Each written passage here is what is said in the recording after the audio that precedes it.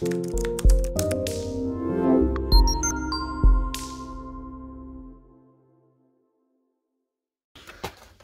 up, IndyCar Diecast collectors? This is OBB, the Diecast News Guy, and today I am joined with my good buds, Mr. Uh, Caleb Henderson and Lewis.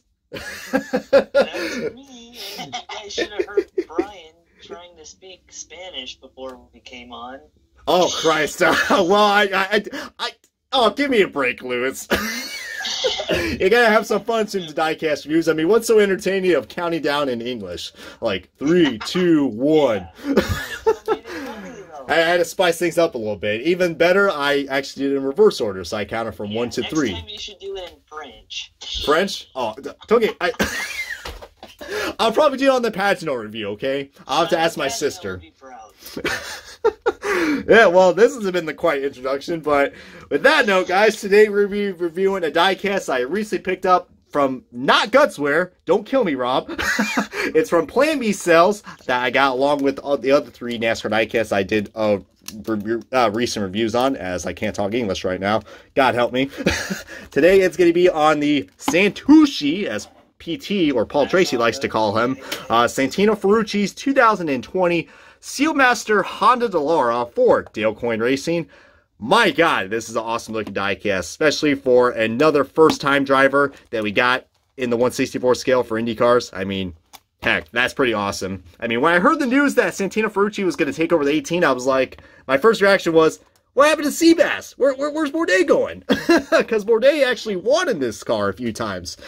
So, but whatever though, I mean, Santino Ferrucci definitely has, uh, he's definitely a guy to watch out for for this year, especially on the ovals. I mean, I wouldn't really consider him a factor for the 500 this year, but I don't know. Anything's possible, man, during that race.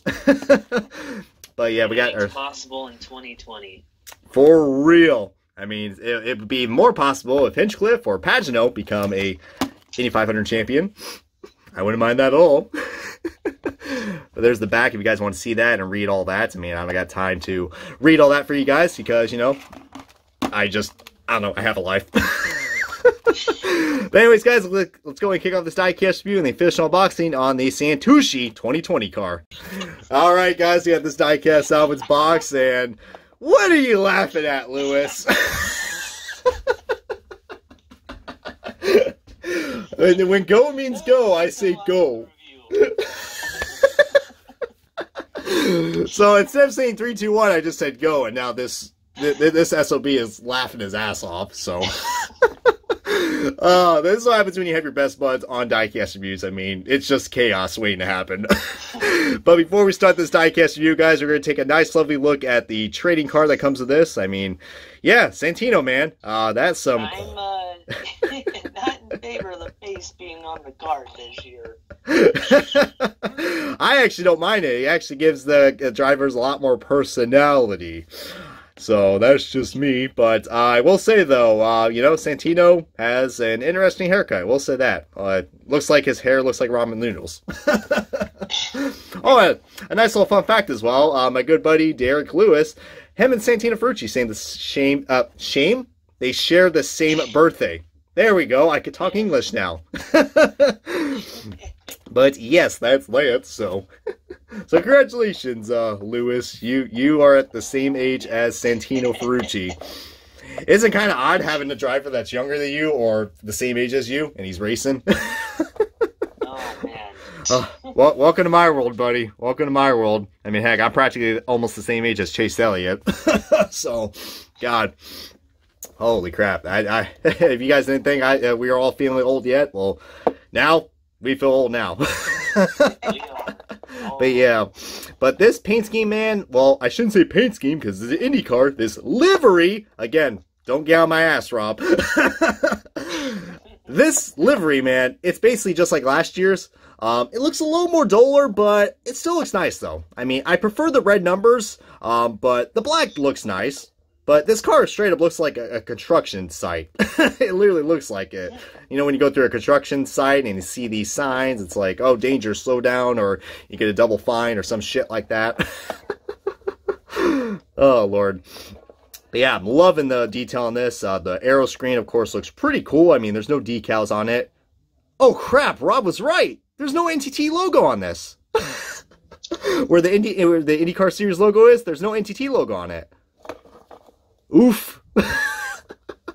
uh, I might criticize Lionel a lot, but Greenlight, uh, that's not acceptable. You see, I'm gonna have to, I don't know, I, I'm gonna have to shame them on this diecast review. but yeah, uh, I, I, I, like this diecast a lot, guys. I mean, as you guys know, the Seal Master car from last year, that was a hot seller, so it's not surprising that Greenlight would do that again, because, you know, this, the Seabass car from last year sold like hotcakes, especially during that uh, the month of May. God, I can't believe we got the Indy 500 this year in August. Well, hopefully in August, um, with how everything's been going, but um, yeah, unfortunately, I got some sad news to break you guys to break to you guys. Uh, I'll probably make an announcement on my community post and on my Instagram and Twitter. Um, unfortunately, your boy OBB is not going to be attending the Indy 500 for this year. Um, it's unfortunate. I mean, but whatever though. I mean, that'll give me some opportunities to go to some other races. So um, hopefully, Watkins Glen for the NASCAR race. But I don't know. I, I I will make a statement about that momentarily. But yeah, that's quite the bummer. And I don't know maybe I'll I, I maybe I'll know. I'll, I'll get on the Discord or whatever and we'll watch the 500 or I'll watch with my good buddies. Because it's gonna be hard watching the 8500 not being there uh, especially I swear if Hinchcliffe or Pagenaud wins the 500 and I'm not there. Oh I am gonna be pissed but uh, now enough of me talking. Um, heck, uh, let's get let's get our good buddies on here and see what they got to say about this diecast. I mean, uh, what do you guys think about this car, guys? I mean, I I, I gotta admit, it is quite a nice looking diecast. I will say that. yeah, I agree, and uh, it's pretty much the same as last year, besides like the numbers plus the aero screen, and plus the aero screen. I think it makes these diecasts look even better this year.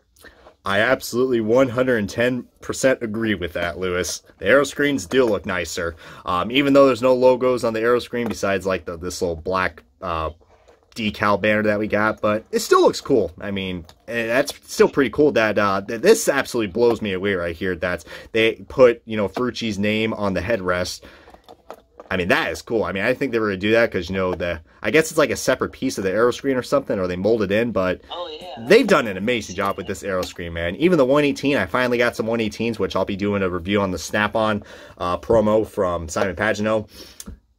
Greenlight killed it this year, man. They absolutely killed it with the aero screen. I didn't think it was going to look right, but after reviewing a, a few of these suckers, I got to admit, they absolutely just blew me away. but now it's time to start the best part of this video, which is the comparison. As you guys can tell, there is a huge difference with the 2019 and 2020 cars. I'm looking at you, Aero Screen.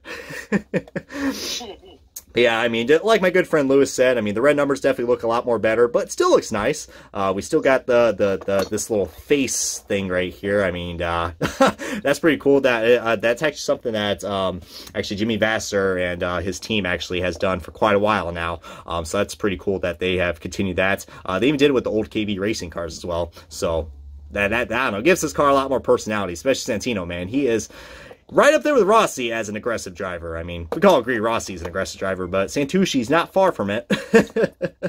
That's why they give him that nickname. But yeah, I mean, but the million dollar question of the day is, will this kid win a race this year?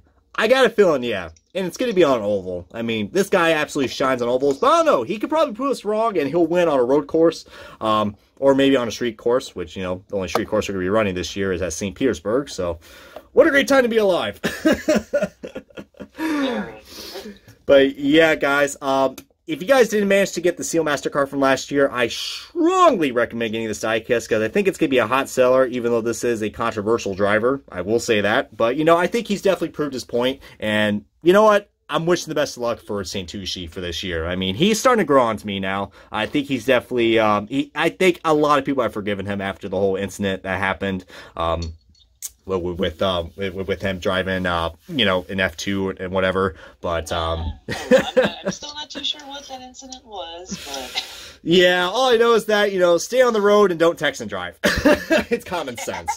Uh, apparently that's what happened. But yeah, hoping the best for this kid. He's gonna win a race, and for being your Indy 500 Rookie of the Year, I think this guy definitely is going to shine for this year, along with Colton Herta and Pato O'Ward, and basically the next generation of IndyCar diecast. Because, yeah, uh, we got ourselves a lot of great young guys who are coming out, and you know, basically going to be new legends in the sport as we got guys like Tony Kanaan and Elio, and sooner or later down the road, Scott Dixon will probably hang up the helmet, but that will be for a while now. But you know, that guy's been racing for a while now, but still kicking ass.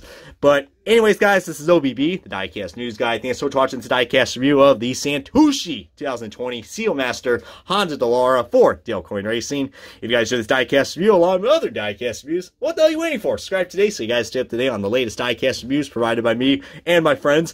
As, uh, yep, once again, I got to thank uh, Mr. Henderson and Mr. Lewis for hopping on board unintentionally. uh, I, am definitely getting your ass on a Hooters car. I will say that when I review another Hooters review. Maybe when the Night Owl car gets released. All right, but anyways, I'm gonna go head off. Probably, I don't know, take a nice little nap and question my life after this doing this diecast review. so, so long for now, everybody.